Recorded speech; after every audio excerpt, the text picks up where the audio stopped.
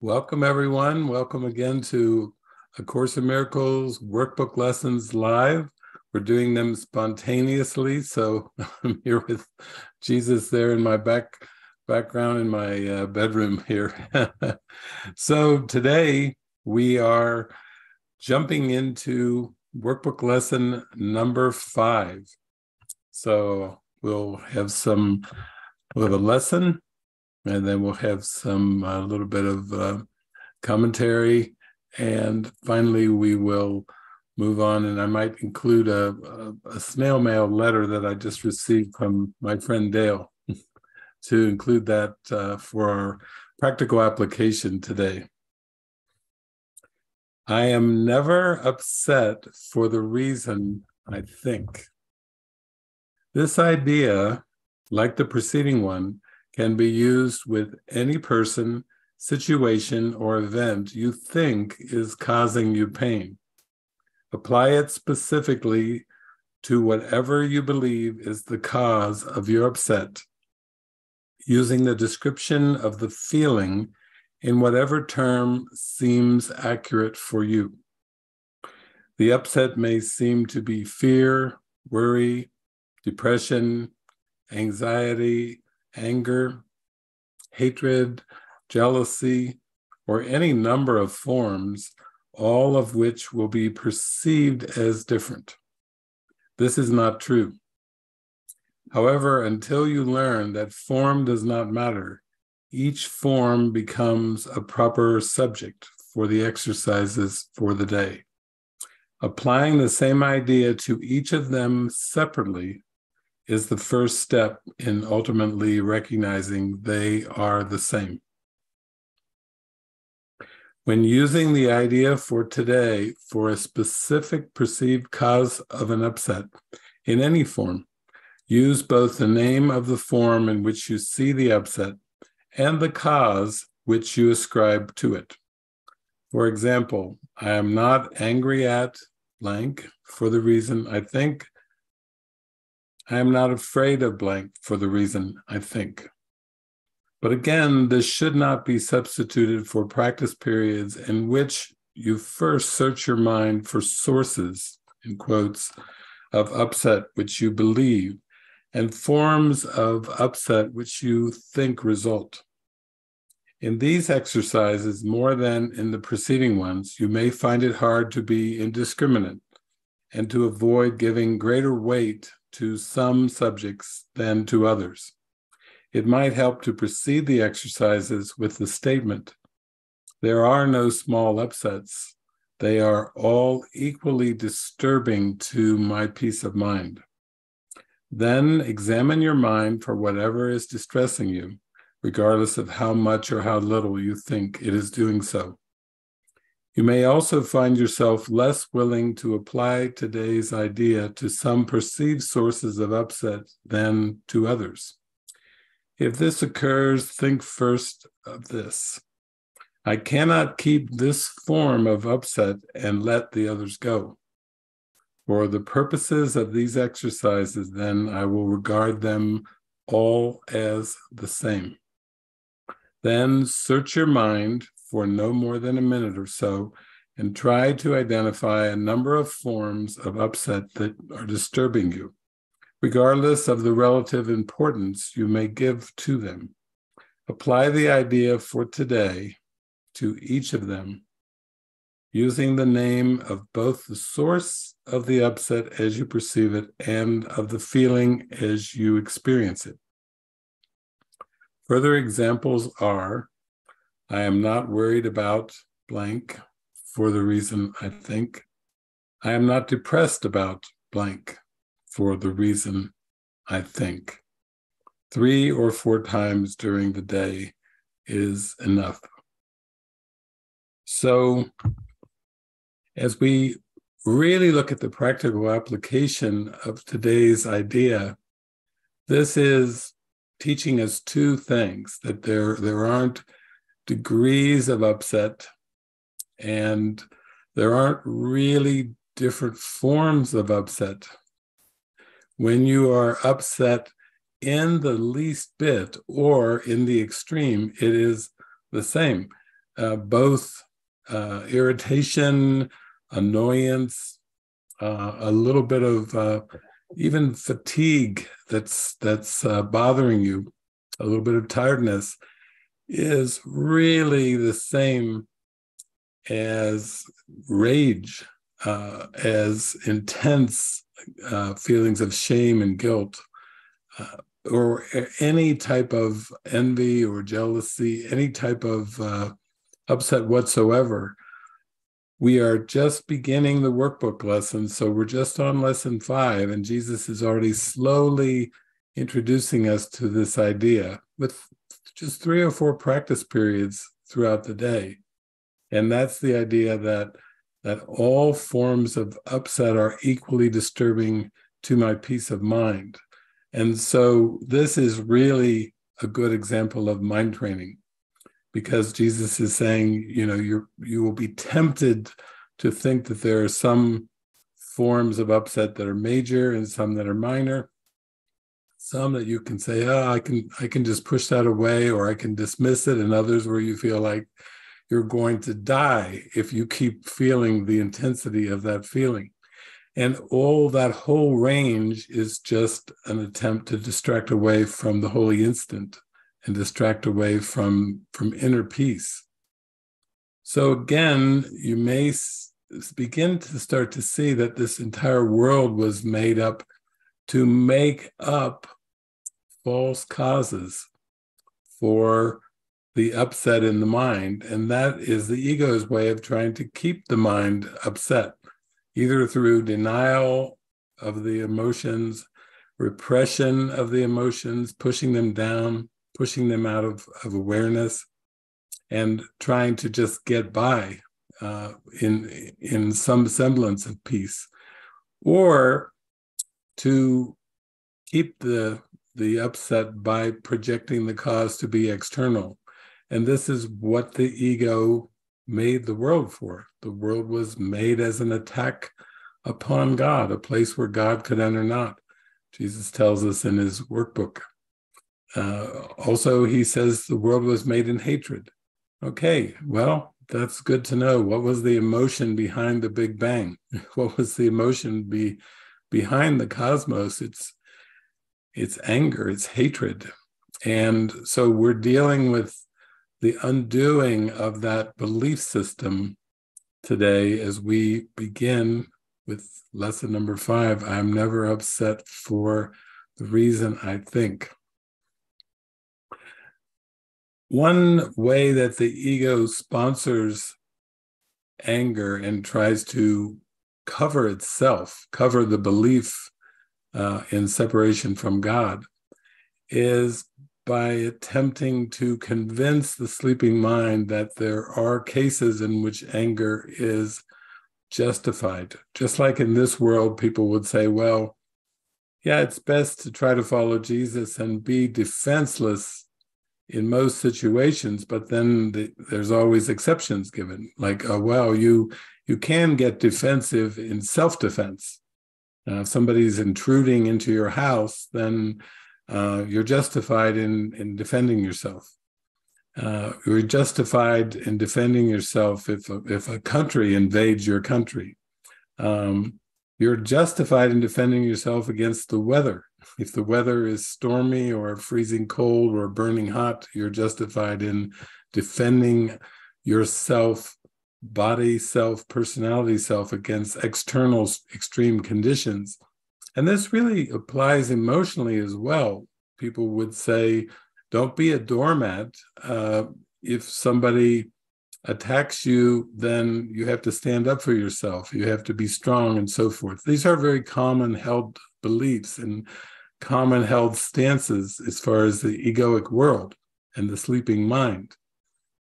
But what Jesus is teaching us actually, uh, there's in uh, chapter 30, which is right toward the end of the text, um, there's a section, a section, section six called the justification for forgiveness. And basically, in that section, Jesus will say that anger is never justified, which is the way he starts off that section. That's the very first sentence in the justification for forgiveness in chapter 30. First in italics. So he's really emphasizing that anger is never justified. and then uh, in one paragraph later, he starts off his second paragraph with pardon is always justified. And he italicizes the word always. So now we're beginning to see what Jesus was teaching 2,000 years ago when he said, if someone smite you on one cheek, turn the other cheek. Uh, if someone asks for your coat, offer your cloak as well. Um, you know, forgive, um, pray for your enemies. Uh, you know, he's he is never, ever, ever advocating anger. And this is what he's saying in this section uh, called the justification for forgiveness is he's basically beginning to teach us with this workbook lesson today.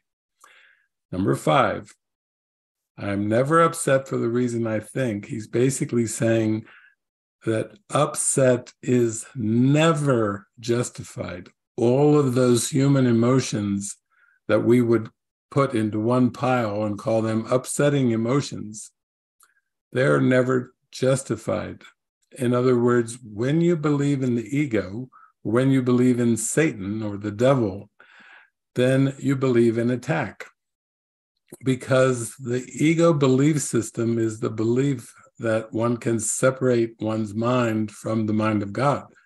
It's the belief that the Christ can leave God. And uh, Jesus clearly stated, The Father and I are one. Uh, you know, if you've seen the Father, you've seen me. If you've seen me, you've seen the Father. He basically was saying, if you recognize spirit, you recognize divine love. You recognize the eternal nature of the kingdom of heaven, which is a fact. And he is telling us that that anger is always based on a misinterpretation and it's never based on a fact. So there is no set of facts where you can say, I was justified in being angry. He's teaching us that victimization is impossible, that mistreatment of any kind is impossible. And he's teaching us that, that while there is a belief in separation and the experience of upsetting emotions, this is the ego's anger. The ego is a make believe thought system that God did not create. Uh, even if we use Christian terms and we people say that uh, that um, that that the devil was just a fallen angel. Well, what God creates is eternal. And so what God creates is pure. It's purely divinely innocent and it's it's it's cannot be corrupted. It it cannot it cannot separate. Uh, spirit cannot sin. Um, the sins of the flesh that the Bible talks about, um, that which is born of the flesh is flesh, that which is born of the spirit is spirit. That sin is associated with flesh, and so therefore sin is associated with perception, it's associated with bodies. And when you interpret that one body has done something to another apart from their own will, that is the belief in attack. And what Jesus is really teaching us, he's just beginning here in chapter in chapter 30, he's giving it full on. But in, in workbook lesson number five, I'm never upset for the reason I think, Jesus is saying, you're just fooling yourself if you believe attack is real.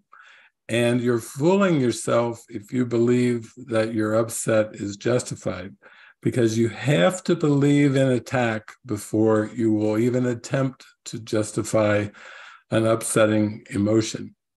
And these, again, can be attack thoughts that relate to the past or attack thoughts to the future. In the past, they often are, associated with grievances and regrets, and um, there's just very, very bad memories. But basically, it's just an interpretation that someone mistreated someone. And in the future, when you have a sense of worry or concern or anxiety about the future, it just means that you believe something real happened in the past and it could happen again. And therefore, the mind will be caught up, as I was mentioning in our, our last lesson, workbook lesson number four. These thoughts do not mean anything. That that private thoughts are thoughts that you believe you can hold on to apart from God. God has nothing to do with private thoughts, but if you believe in the past or the future, then this is is where the the the case is made for victimization. In other words, the ego will say, "Well, you have been victimized in, victimized in the past, and here are the, the situations, and here are the circumstances." And the ego may say, um, "Oh, yeah, yeah, forgive, but never forget." In other words, the ego is going to say, this was done and it was done wrong. Somebody was wronged, whether it's you or someone else that you uh, value and love, or in the sense that that the future could be more of the past. I saw a, quote from my my friend uh, Alan Cohen, who's an amazing writer and uh, beautiful Course in Miracles teacher, and I think the quote was maybe on Instagram uh, and the quote was it was it wasn't really a quote; it was just a beautiful saying. The saying, "God's idea of grace is bigger than your idea of karma." I like that, and and if karma sounds kind of like an Eastern word, you know, uh, for uh, giving and receiving are the same, and you you draw forth what you so what you, as you sow so shall you reap. That's more of a biblical way of talking about karma. But basically what what he was saying is that god's grace is greater than any idea of mistreatment of abandonment of um, victimization of of of attack no matter what kind of idea of attack uh, that you may come up with grace of God, the love of God is greater than that belief or that concept. So, as far as practical application, which I know that's why you're tuning in, we did have a question uh, that that came in through our forum, but also uh, I've just been traveling recently for a couple weeks, and I just returned and opened my mail up, and there was a nice typed out letter uh, from some of you know my friend Dale is in prison in Ohio. And another friend of mine, uh, Kenneth Price, Kenneth, I hope you're watching. Uh, Kenneth uh, went to visit Dale in prison because Kenneth uh, is there in Cincinnati and, and Dale is up much further north uh, above Cincinnati. Uh, but I got this beautiful letter, and uh, he wrote, he typed it out, but he wrote in uh, in his handwriting, "I loved my visit with Kenneth. Nothing like being in prison and having someone come up and visit you and talking about healing and sharing miracles." So Dale's been in prison uh, for over 18 years and he's practicing his forgiveness lessons. And uh, so i thought it was interesting that the, this morning when i opened up the letter and read the letter and the workbook lesson of the day was i am never upset for the reason i think. I, I just kind of smiled and i thought somehow i think this is going to all be used by the holy spirit today. This is going to be used by jesus. So he wrote this um yeah I'd say back, looks like the, 13th of December. This is what he wrote Hi, buddy. I'm in my thoughts tonight. I had a recent conversation with Jesus Christ, and some deeper emotions were triggered. I've finished 18 years in here, meaning in prison, and none of these emotions or feelings have come up, have been this intense. They waited all the way till the end. He's getting closer to his uh, release date, perhaps uh, next year. So he's saying these emotions, these intense emotions, waited all the way to the end. Now they want to rise up and try to bite me. Frustrated as I might get, miserable as I may feel at night sometimes, still, there is a deeper part of me that knows these thoughts, feelings, and memories aren't true. They're not ultimately real. No matter how much I appear to hurt inside, still I know it only burns away everything which was not real. I've lashed out at people. At times, I feel like I've been that little girl in The Exorcist with some of the things that I've that have flew from my mouth. But I'm determined, I'm inspired, and driven to keep going in capitals. These stories aren't true for any of us. So he he's writing in there and he's just pouring his heart out. He likes to journal to me and just to join in mind and feel the the presence of love to feel the the strength of the spirit the the the comfort of the spirit the the inspiration that comes from the spirit to keep going because this mind training that we're embarking on here as we go through these course in miracles workbook lessons it may seem to be some of the most intense and and difficult work that you've ever done in your life. People will say, yeah, it's very psychological. Yeah, mind training is psychological. It's very intense to have a, a teaching from Jesus teaching us that that all all illnesses of the mind, all sicknesses of the mind, that all things that we're upset about are based solely on interpretations and not on facts. So that's when when Jesus is telling us in chapter 30, anger is never justified, he's just basically saying, no matter what it seems to be, it's always coming from an interpretation and not a fact. You're always misinterpreting what happened in form. You know miguel ruiz you know wrote a book some years ago called the four agreements and one of his four agreements was don't take anything personally. And as you practice the workbook lessons of a course in miracles you're going to have specific memories that come up things that are triggered. And that's what dale's doing in his his letter here to me he's basically telling me that um, sometimes he wakes up and he's feeling really good it feels like his mind is like a giant building with endless uh, empty rooms, no rooms, uh, no structure, an infinite building.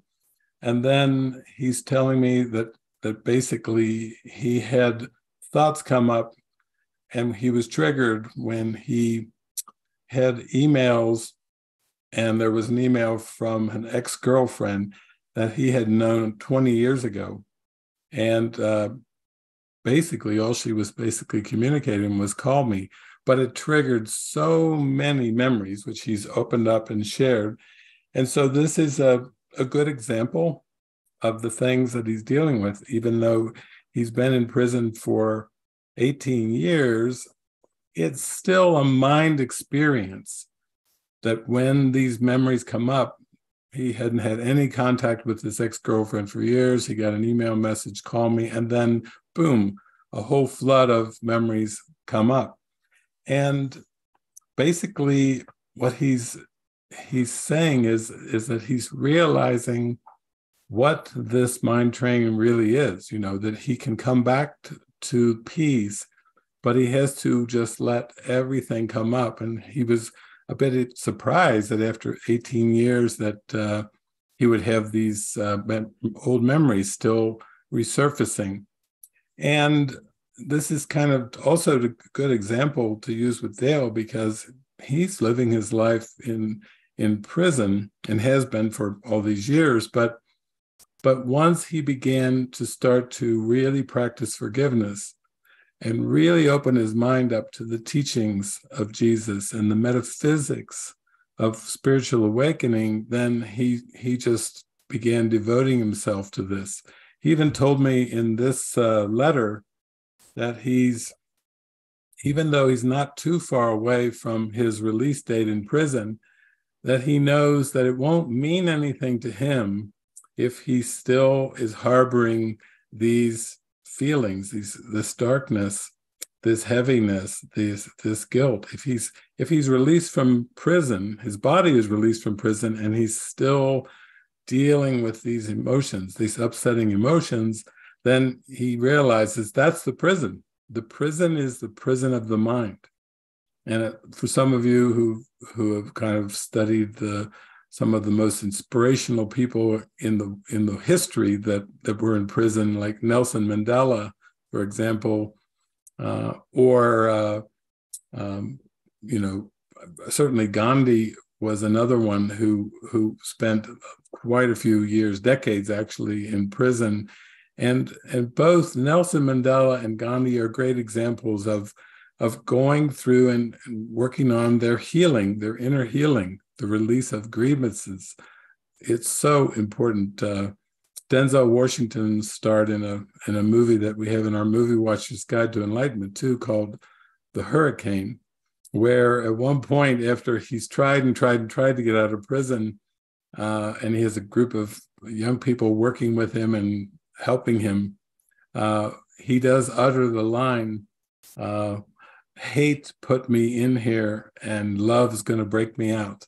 And that's one of my favorite movie lines. Uh, from it was a, a, boxer, Hurricane Carter. Dale is a boxer uh, who's in prison. Dale actually was a, a pretty successful, well-known boxer. He he fought on uh, the cable channel uh, ESPN, very publicized uh, boxer. So he's now years later, having been you know put into prison for murder, he's come across these beautiful teachings from Jesus, and he's just putting such dedication.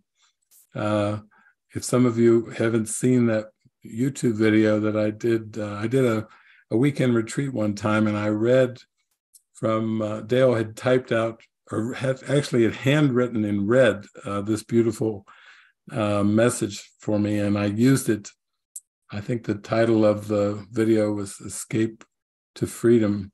But it, people are still touched by that. And of course, when I shared that online, uh, we also put uh, his uh, mailing address, and people sent him letters, and they he received so many correspondences. And a friend of mine, another friend, sent him uh, envelopes and stamps so that he could correspond with him and my friend Kenneth uh, actually has been corresponding quite a lot with Dale by email and, and actually put a lot of their interactions, what Dale wrote, uh, back to Kenneth uh, into a, a, booklet, a booklet form, which he recently brought, brought to Mexico.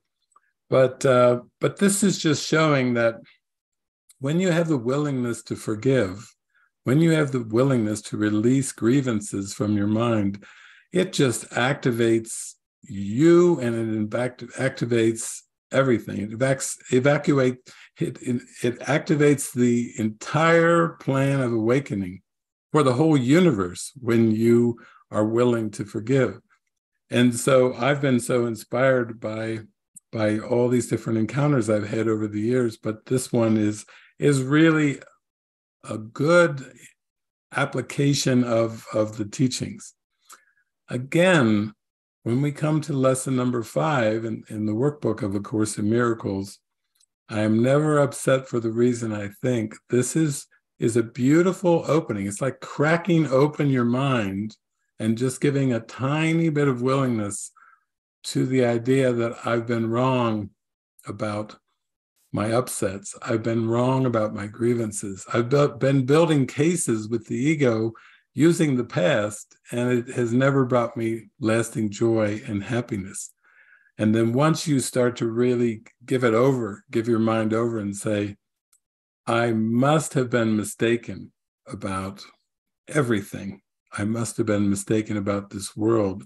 I'm ready for the love of Christ to enter into my heart. I'm ready for the Holy Spirit to lift me up higher and higher and higher back into the light, lift me toward the kingdom of heaven within, then that is where we begin to, to heal.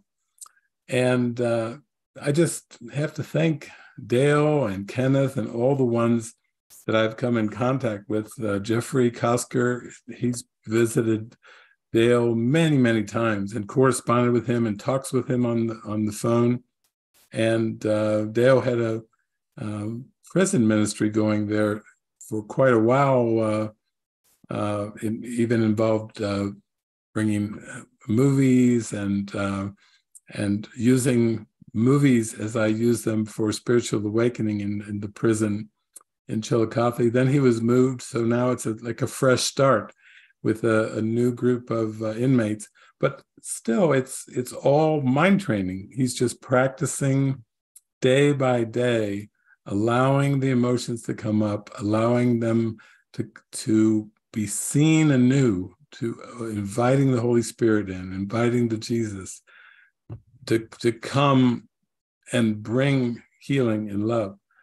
He also was, uh, he, he likes to use acronyms to train his mind to think differently. So uh, he uses a prayer that I had given before about before going to sleep, asking the Holy Spirit to please use my dreams for my awakening, and then letting the, all the signs and symbols come but uh, he's got some great acronyms here. Uh, LEAP, which means leave everything at peace. That's so beautiful. And then he's got JUMP, which means Jesus understands my problems. Isn't this lovely? Isn't this adorable? and he's he goes on. He just shares a, few more that he uses, but it's it's just the process of reminding ourselves whenever we notice that we're getting upset, either mildly upset or majorly upset, that we need help. We need help to see it differently. And again, this is how Jesus is teaching forgiveness to us. He's teaching us that that whenever you're upset, you believe something's been done to you apart from your own will and that's not the case. Uh, our will is is is one with God. God gave us uh, free will, meaning God, not choice, but God gave us the will to be as God created us forever. So we have free will in heaven. but in this world, when we look back to the past and we start to be upset with something, we're literally just upsetting ourselves by the beliefs that we're holding and the thoughts that we're holding. That's where these upsetting emotions come from. And we're we're looking at something that the ego has generated in terms of, of a false interpretation, a very personal false interpretation.